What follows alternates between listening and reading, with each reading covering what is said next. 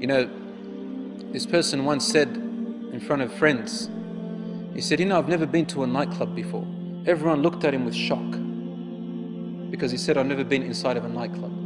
All of a sudden, a nightclub not being in there is a shock to everyone. Another one said, You know, I've never kissed a girl before.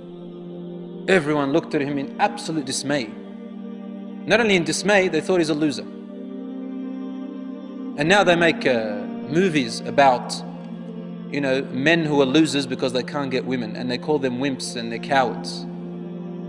How things have changed around. Where women have lost their absolute value, men have lost their value, and this type of behavior is considered to be noble and courageous. Allahu Akbar. You're a warrior, you're a hero if you can serve your lusts and temptations. And then you have issues of rape and crime, and then you've got laws, especially in Western countries, that can't even solve anything. Just the other day, I read in the paper about a man who was convicted in the court of law in Sweden. He was convicted of rape. You know what kind of rape? It says that the woman, she agreed to have intercourse with him. But, excuse me for the expression, uh, he used some kind of contraception, I don't want to say its name, and the contraception broke. Based on that, she won in the court by claiming rape, even with her consent. So now their own laws can't even solve their own problems. They bring more laws that bring more problems for them. And Allah says in the Quran, والله يريد أن يتوب عليكم ويريد الذين يتبعون الشهوات أن تميلوا ميلا عظيما. يريد الله أن يخفف عنكم وخلق الإنسان ضعيفا. Those who follow their own lusts and temptations, they want to lead you astray, away very far. Allah wants to lessen the burden off your shoulders. He doesn't want, to, want you to fall into harm.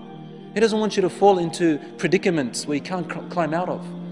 يريد الله أن يخفف عنكم. These laws in our deen are only there to protect you.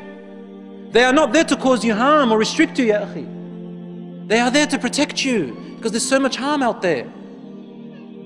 وَخُلِقَ الْإِنسَانُ ضَعِيفًا Allah also tells us, follow my laws because you're weak. You're weak. Pass them and follow my guidance. I'm there for you. Like what your father and mother do. To keep you away from fire, keep you away from harm. They restrict you and place boundaries around you. We need boundaries from Allah, otherwise we fall into harm. And then there's AIDS, and there's HIV, and there is unwanted pregnancies by girls who are only 13 years old, 13, 12, 12, 13. And what happens to the child? They put up for adoption. The child grows up without a father or mother. What oppression! What oppression! Only to repeat the same thing again and again. So there is great harm in this. And here we are, they're trying to tell you, youth, that doing these actions makes you a man. You want to become a man? I dare you to get married. I dare you to get married. Because to them, this is the most cowardly thing. They don't dare to get married, brothers and sisters. They don't dare to get married. I had a neighbor, she had a three year old daughter, but they never got married, her and her partner. In the end, he left her for another woman. Obviously, he's going to leave you for another woman. He's too afraid to be a man. He doesn't want to get married because he's too deep in his lusts. And then turns around and she says, Men, they're only after their ego. Of course, why did you take a man like that? Allah gave us conscience. Allah gave us guidance in our brains to think with. And so Allah forbids us from these things because not to bring us harm. And you know what's sad? Unfortunately, 80% of the time, majority of the time, women are the victims. Women are the victims in this situation. So you can see it's reversed now. What does the man want? The man wants to use and abuse the woman. Use and abuse the woman.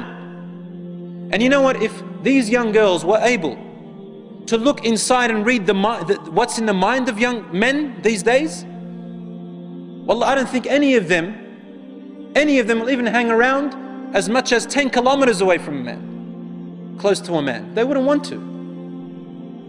But the men, they like to deceive women, wicked men, they like to deceive women, wicked men, got non God fearing, we're talking about. And then you get this poor woman who thinks that, oh, he's my boyfriend. We're going to stroll, in, this is the image she has in her head. We're going to stroll in the park.